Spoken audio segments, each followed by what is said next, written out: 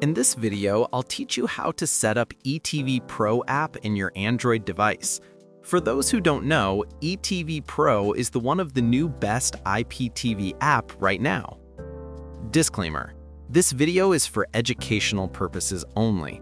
I don't sell or promote any IPTV services, I'm just showing you how the app works. Please make sure you comply with the laws of your country when using IPTV apps. Without wasting your time, let's go straight to the first step. The first thing is to download the app and install it in your device. You will use this website to download the app. And for those who use Amazon Fire Stick TV, this is the installation code.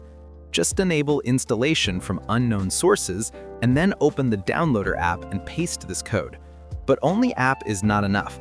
You will need the activation code. Where to find it? Too easy. In the same website, there's a buy section. But as I always advise you guys, do not buy anything without testing a free trial first. So before doing that, after you install the app, there's a section where you can take a one-day free trial test. And that's it. Too easy and too simple. And luckily, this app is optimized for every device. I mean in TV or small screen, so no need to download separate apps for TV and mobile. Don't forget to subscribe and smashing that like button.